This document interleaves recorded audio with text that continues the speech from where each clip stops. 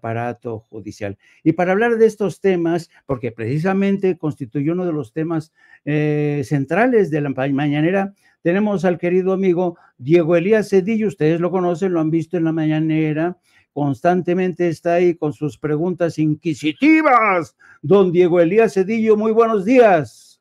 Mi querido y estimado Jaime, te saludo con mucho afecto a ti y a todo el público querido de Sin Censura. La verdad es que sí, tienes toda la razón del mundo. Nos toca estar en las conferencias de prensa del presidente de la República todos los días. Ha sido un privilegio en el transcurso de estos años, mi querido Jaime. Eh, vaya, te voy a dar un dato, si tú me lo permites, sobre cuántas conferencias de prensa van y cuántas conferencias de prensa nos quedan. Han pasado, mi querido Jaime, 2013 días del gobierno del presidente Andrés Manuel López Obrador y de esos 2013 días van 1.358 mañaneras. O sea, literalmente el presidente nada más ha descansado algunos fines de semana. Y mi querido Jaime y público querido de Sin Censura, lamentablemente nos quedan ya solo 119 días de López Obrador y de esos 119 días, pues solo nos quedan 93 conferencias, al lado de nuestro presidente López Obrador. Y a partir de aquí, pues yo creo que ya es la cuenta regresiva, ya mucha gente se va a empezar a querer sumar, a participar en las conferencias, lamentablemente, pues yo creo que son muchos los llamados y pocos los elegidos que toca preguntar en la mañanera, mi querido Jaime. Pero bueno, si me permites, pasamos a materia más interesante eh, sobre qué trató la conferencia de prensa. Les anticipo a toda la gente que nos ve desde el sureste mexicano, desde Yucatán, desde Quintana Roo, desde Tabasco, Tierra Bendita, desde Chiapas, desde Campeche, que este fin de semana el presidente López Obrador va a estar en el sureste del país para la supervisión del tren Maya. Entonces, si ustedes desean irlos, irlos a saludar, les voy a dar un tip que no debo de dárselos, pero para la gente de Yucatán, de Mérida, el presidente se queda a dormir en el fiesta americana de Yucatán, a ver si no me cepillan por estar diciendo esto, pero el presidente se queda a dormir en el fiesta americana de Yucatán en Mérida, así que si quieren irlo a saludarlo, a ver, tengo entendido que el sábado va a estar por allá, así que lleven todos sus libros de gracias para que se lo firmen, mi estimado Jaime. Oye, ¿y cómo viste, Diego Elías, y cómo viste el tono que empleó el presidente? Para atajar estos rumores, estas versiones que han comenzado a multiplicarse desde medios eh, convencionales, Leo Zuckerman, Carlos Loret de Mola, todo mundo advirtiendo con que el superpoder eh, que va a enfrentar el Congreso, el sector financiero, se le va a echar encima al presidente o a la presidenta Claudia Sheinbaum por la reforma al sistema judicial. ¿Cómo viste la respuesta del presidente?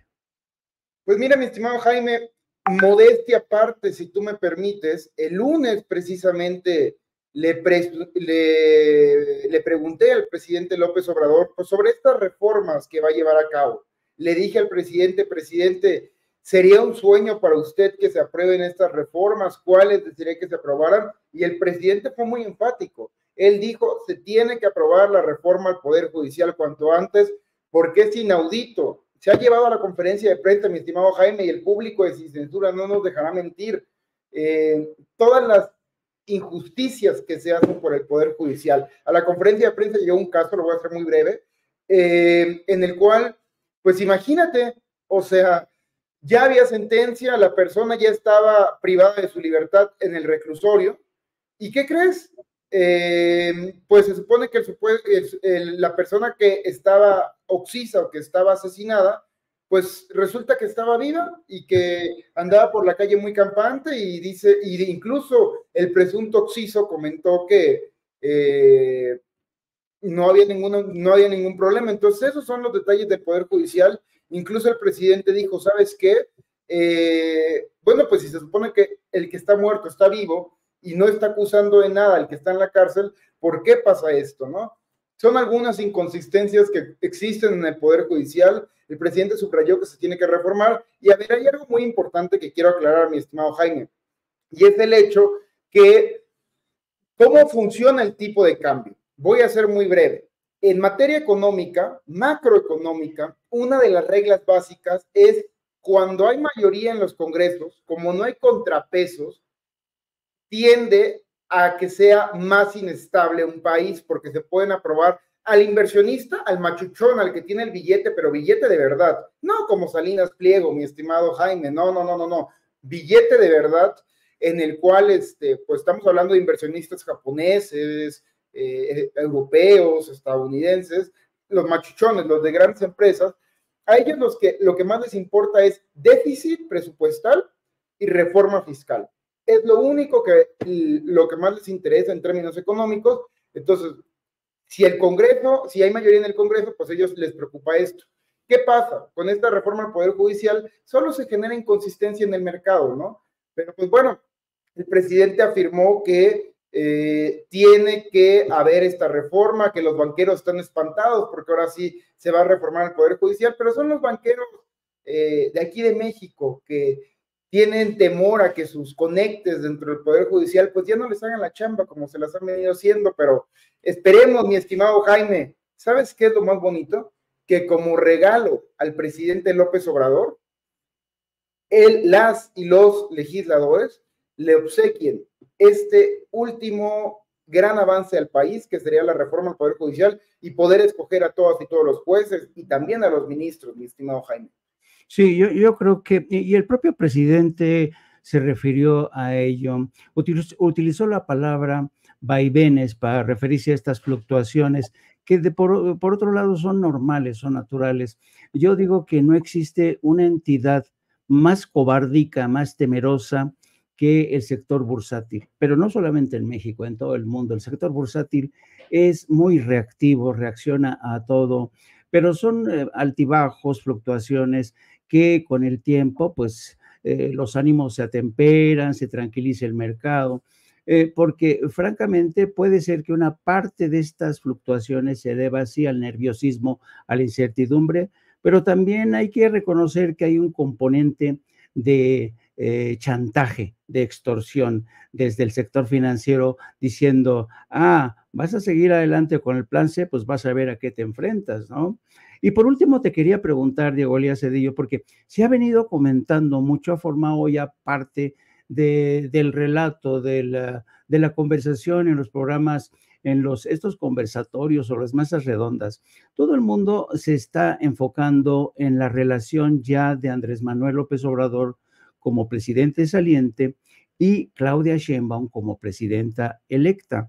Ya hay esta suerte de especulaciones, si acaso eh, Denise, Merkel comparó, se atrevió a comparar al presidente con Plotarco Elías Calles, que protagonizó el Maximato, eh, pero también hay gente que conoce a Claudia Sheinbaum y que sabe que es una mujer de carácter. Eh, yo creo que mucha gente se está equivocando si creen que Claudia Sheinbaum va a ser una persona eh, mansita que le va a decir, sí, jefe, las horas que ustedes digan, jefe, no, no creo que va a ocurrir eso. Pero tú, estando ahí en todas las mañaneras, ¿cómo percibes? ¿Tú crees que el respeto que profesa el presidente hacia Claudia Sheinbaum es auténtico? ¿Tú crees que el presidente sí va a respetar el inicio de mandato de Claudia Sheinbaum a partir del primero de octubre? Mi estimado Jaime, qué bueno que abordamos este tema. Hoy el presidente dio a conocer el mensaje que le envió a la doctora Sheinbaum por su triunfo. Me gustó una frase, la verdad es que creo que es para la eternidad. El, el, presidente refirió, tú eres lo mejor que le ha pasado al país en estos tiempos. No cabe duda que México y su pueblo están benditos. Y en el transcurso de estos días, mi estimado Jaime, desde lunes hasta hoy viernes, la verdad es que la actitud del presidente me ha sorprendido porque, pues, yo creo que todos y todos pensaríamos que iba a ser un poco más eh, laxo, un poco más eh, en el sentido que iba a querer como que mantener un poco eh, el manejo político del país. Y ya el presidente, cuando tú lo escuchas en la mañanera decir, ¿saben qué? Va a ser en los tiempos que Claudia diga, va a ser como Claudia pueda, porque le estuvimos preguntando toda esta semana cuándo se reúne con la doctora y el presidente ha dicho, tiene que ser la agenda de la candidata la que, la que ella me diga, ¿no? E incluso, bueno, a envidia de todos, también el presidente comentó, a la única persona que voy a recibir allá en Chiapas, pues va a ser a mi presidenta, ¿no? Entonces, eh, todo eso, mi estimado Jaime, esboza precisamente, pues que el presidente le va a dar la independencia total a Claudia. Claudia es una mujer capaz, es una mujer que ha demostrado con resultados, pues este, esta, esta construcción de, políticas públicas, lo vimos en la Ciudad de México con cablebuses, con la renovación del metro, con el trolebús elevado, con los programas sociales y las becas a los jóvenes eh, gratuitas para, para estudiar.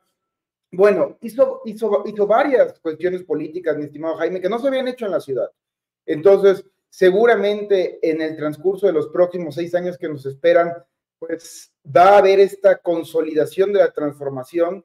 Cuando le pregunté al presidente lunes precisamente sobre este proceso de cambio, el presidente fue muy claro, a ver, es un nuevo gobierno, Claudia va a decidir, eh, Loret de Mola lo llamó la verdadera cuarta transformación, el periódico Reforma, sus ocho columnas fueron la quinta T.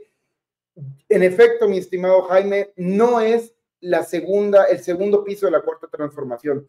La realidad aquí es que va a ser un nuevo gobierno encabezado por la doctora Sheinbaum, eso sí, con continuidad en la manera de pensar del presidente y por qué no, mi estimado Jaime, esperemos por el bien del país que el gobierno de la doctora Sheinbaum se convierta en un legado para las y los mexicanos. Es la primera mujer presidenta en el país. Le ganamos a Estados Unidos y a Canadá, a toda América del Norte, ellos que se dicen progresistas. México se volvió más avanzado escogiendo una mujer de izquierda para gobernar el país.